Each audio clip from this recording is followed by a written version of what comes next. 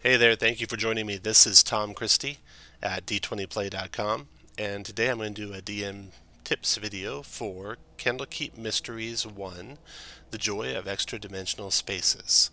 This was a really fun adventure to run. I think it'd be a really fun starting adventure for any campaign. I hope you have your hands on Candlekeep Mysteries because it looks like a pretty cool hardcover. Okay, so first off, spoilers. If you're a player, please stop here. If you're a player looking for a game online, though, check out my video, I Want to Try D&D, which I will link above and below. And uh, it's really easy to find a D&D game online nowadays with these virtual weekends happening. So I encourage you to go check that out. Now, if you are already played it, or you're prepping it, let's continue. The Joy of Extra Dimensional Spaces is a Forgotten Realms adventure and if it's played in Adventurers League, it's in the Masters campaign. I'll put a link to Adventurers League's info below. It's a level 1 adventure. The page references are from the book version. The author of the book, Michael Polkinghorne, he is a geologist, or was a geologist, and now he works in the wine industry. He's got four house cats. That uh, might foreshadow something below.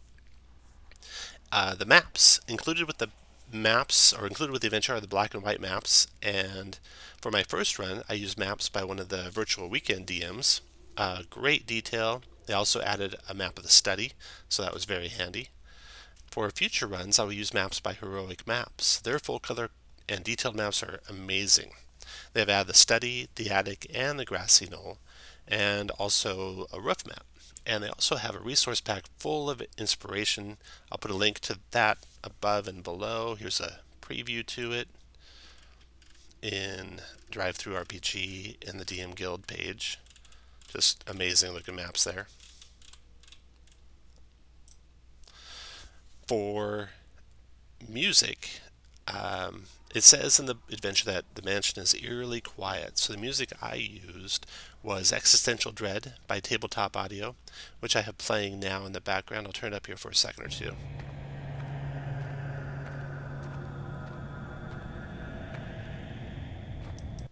Sorry if that was too loud, but really good, eerie music to have for this adventure. For inspiration, the Virtual Weekend DMs, uh, they share play ideas, they share experiences. Great group of people to be with.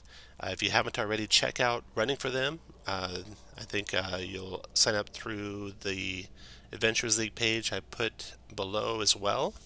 And um, also, there's more great inspiration in the Heroic Maps resources pack that they are selling with their maps. Knowledge. So I like to share knowledge with the players ahead of time so that they can share it organically through their characters during the adventure. So for someone with Arcana skill and um, maybe maybe also religion skill, I would note for them that the flames in Candlekeep are suppressed so that uh, any spell that creates fire is wasted if it's cast in the keep. I would not extend that to this adventure inside the mansion part of this adventure though. Um, if someone has Arcana and is a sage, I would add the information on page 14 about the uh, the extra dimensional spaces and the rules that go with those in Candlekeep. And once again, if someone has Arcana and is a wizard, maybe just if they have Arcana, I'd share the information on page 21 about homunculi, and also the information that happens a couple pages later um, in room 17 when they first find like the half-created homunculi, and that's on page 24. Okay, and I'll put a link to all that info, or I'll put all that info below in the description.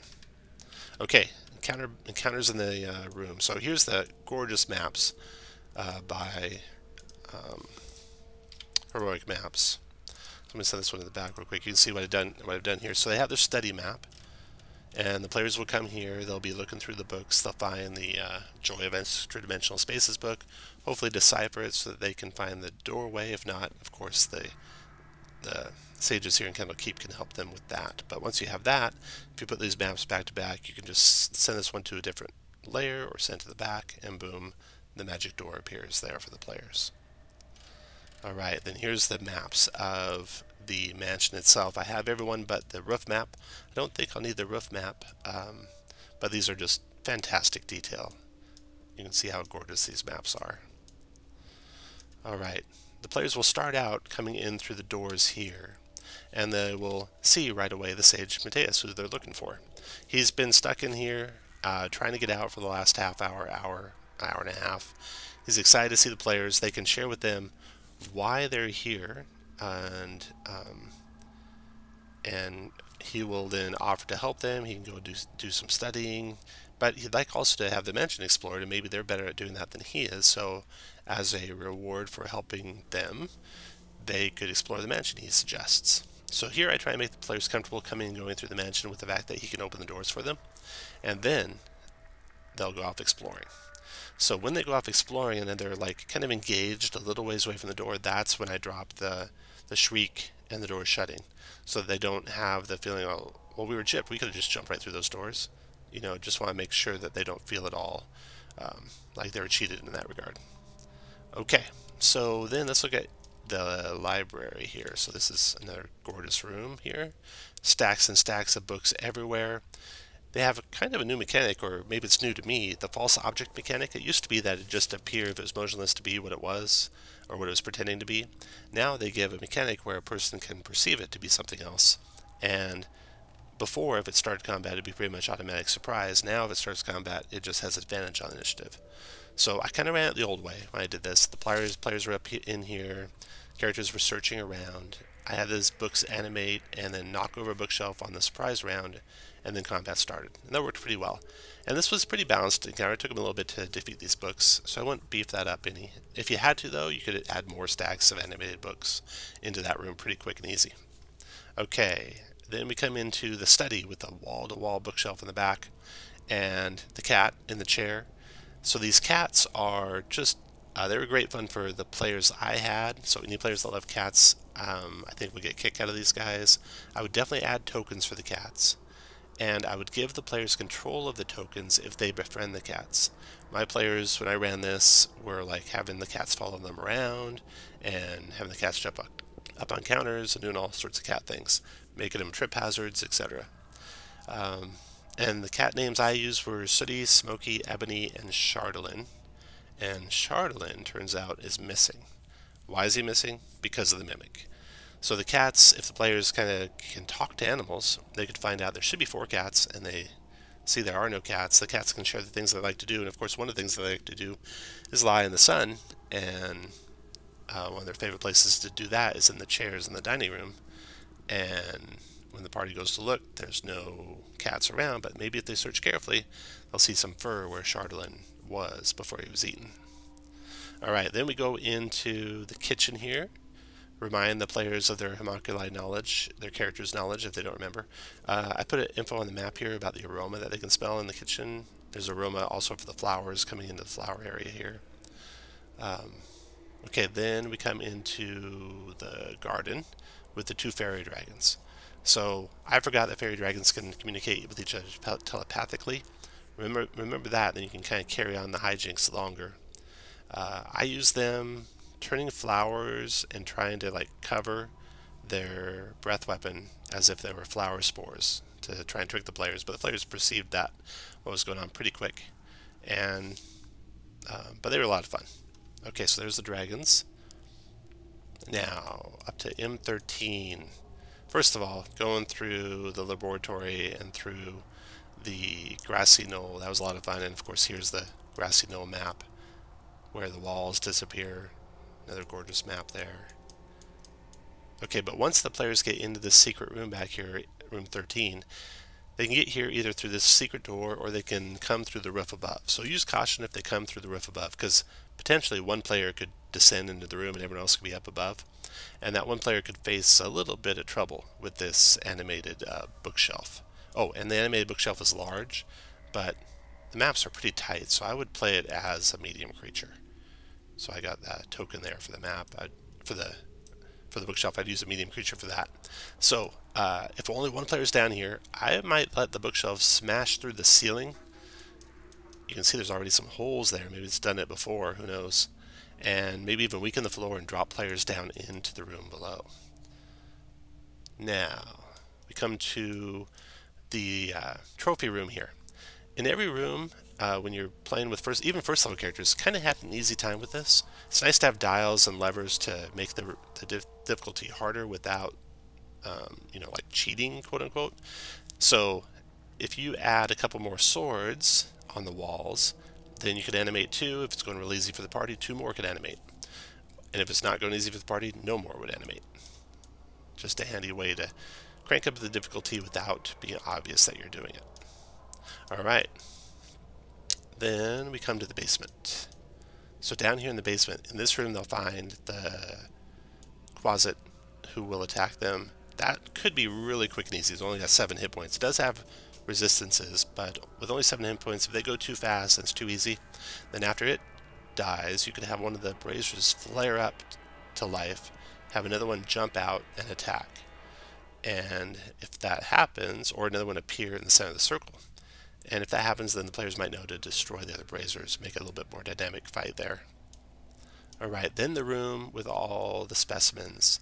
In that one, I replaced the specimens um, in there with like, I gave the descriptions of all of them with just common descriptions. For example, a demonic frog, a feral chicken, an intelligent jellyfish. And then I let the players make nature checks and um, arcana checks to identify a few of what these things are in reality. And in this room, uh, that combat with the hands and the combat with the uh, slaad could be pretty easy. So you could, if it's going too easy, you could have them both attack at the same time. That'd beef that up a little bit. So when the players have explored the whole mansion, they'll find all the books, and then they should be able to find the command word to get back out. When they get back out, they should come into this room and find, waiting for them here, the imp. So the imp could be waiting invisible and just ambush them.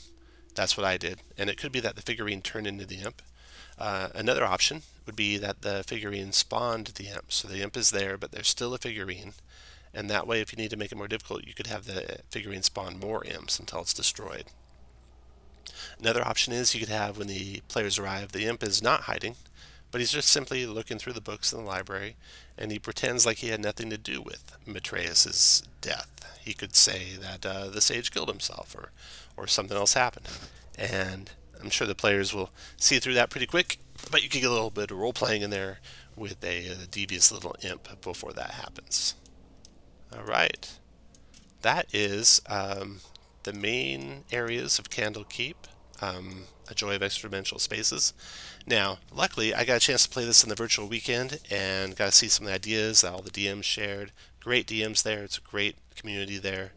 Um, if you're one of these DMs that has one of these ideas and you want to get credit with it, I didn't want to presume to put names by these, but if you'd like to, just uh, leave a note below. So, um, one idea was to have the players collaborate to come up with the name of the village that they're helping at the front of the adventure the nature of the trouble of the village, the name of the village's mage. So, you know, D&D players can come up with all sorts of cool, crazy stuff for that. Another idea was to add an extra mystery to the back of the puzzle books, or you could do something in the puzzle books. Um, another idea was when the when the flail is uh, gotten off of that chain library, it impels or compels the user to yell book club every time they attack with it.